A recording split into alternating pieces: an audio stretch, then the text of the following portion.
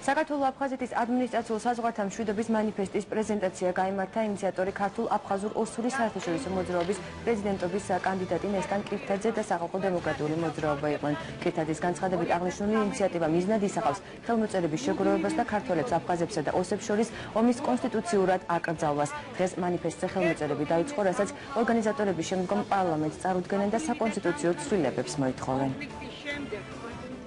დღეს ენგურის ხიდზე ჩვენ გავაკეთეთ მუდმივი მშვიდობის გზავნილი და გაუგზავნეთ ჩვენს ნათესავ ხალხებს, აფხაზებს და ოსებს.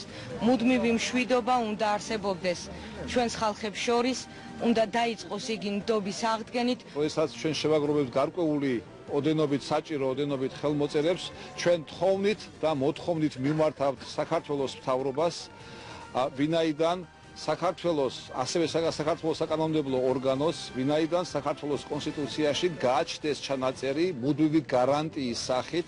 ისეთი დეფინიცია რასაც ქვია მუდმივი მშვიდობა რომ ამიერიდან არასოდეს განმეორდეს ქართველ აფხაზ და ოს ხალხებს შორის საომარი დაპირისპირება